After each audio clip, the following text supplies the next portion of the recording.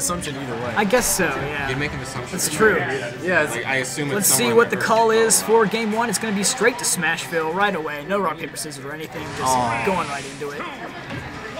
So we saw some really good stuff out of his DD in round one. Let's see if he'll be able to keep it up. But of course, Greninja's uncharged Shuriken just defies all laws of physics and just hits the Gordo right back at the same speed.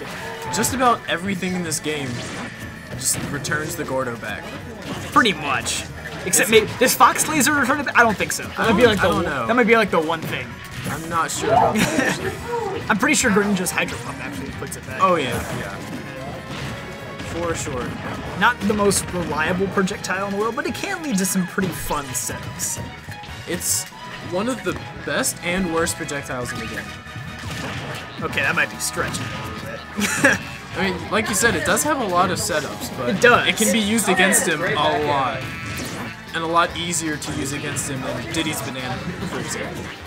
You don't have to catch it. You can hit it with any aerial or any other projectile. But despite, despite being outmatched in the matchup, DD hanging on pretty well here in this match. Oh, oh, wow. nice double hit on the Gordo, and just like that, percent Ooh. lead. Going And almost a shield break, almost another shield break. Back-to-back smash Jeez. attacks.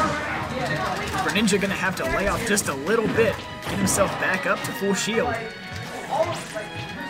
Let's see, how, how do you edge guard DDDS Greninja? Just outspace him with shurikens? I'd say that's the approach we're going to see. Oh, definitely. Oh, a nice shadow sneak. If he got the Gordo connect, that actually could have led to a KO. Either that or just tons of damage.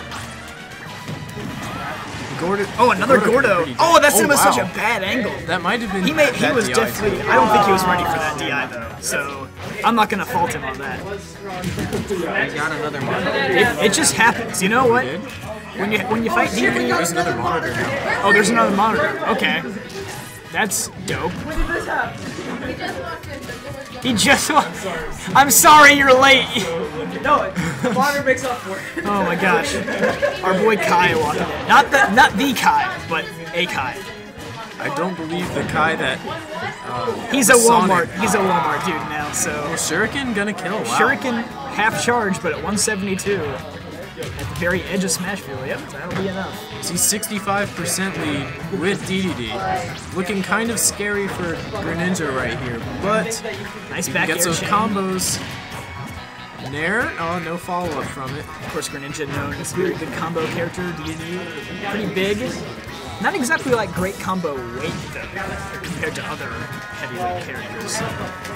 DD's got a little bit of a floatiness to him. He tries to go for that back air, but that actually won't work on DD because DD remains super armor the whole way through. Yeah. Maybe maybe the way to go against DDD is to use the up B to him, since I don't know if that is negated by super armor as well. So wait, But we're gonna see the I unsafe so. Shuriken already done round one. punished by a down tilt. Can we see an edge guard? Nope. Greninja has brought this back. Up air, not gonna kill. Even percents, well actually now 1% magnifying. Oh, Gordo. Maybe if that was facing the other way, This that is this is why Down you don't this is why you don't commentate about percents because it just changes so quickly.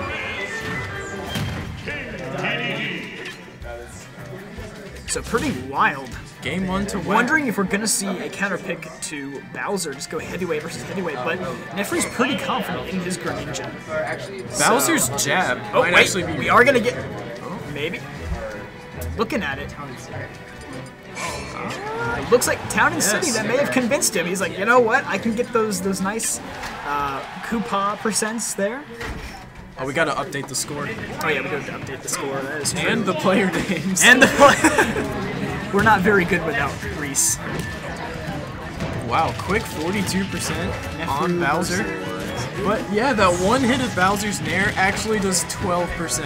And just like that, he's at 41. All right, sorry about that. We got the names updated now.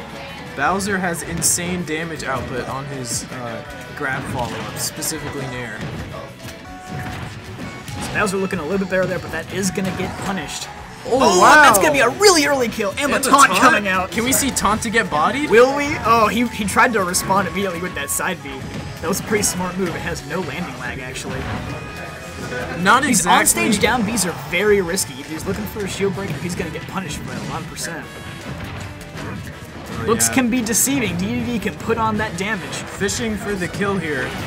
Looks Bowser, but the up Smash smash. is gonna take it. Actually. No taunt back. I'm a little surprised that Di was a little sus.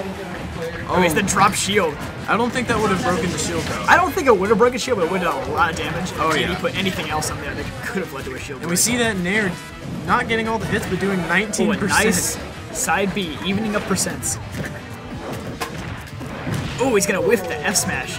If neffrw wins this game, I'm still calling it taunt to get bodied because I don't think that down smash at the ledge deserved the taunt. Ooh, Bowser in a bad spot. Ooh, going for the get up attack. Smart very get up. Could have gotten down smashed again if he uh, reacted to that. The DDD hidden god coming out. Down smash. Down smash is working wonders for him at We, the ledge. we actually saw that Back round one as well. oh, Oh, goes man. for the down air. Yeah, he's going for a read there. oh, gets the down smash, sends him the other way. 87% on Bowser at high range, you never know what could happen. Would up throw up air kill at this percent? That's a good question. We are on Town and City. He's definitely looking Oh, for oh, the back back air. and that's going to be a That's 2-0 for Colin D. Colin D, who will advance on to round three winners. So Colin D making his way through with this deity, very surprising. And now we're going to have Blurb and Poston on stream. Shoutouts to RIT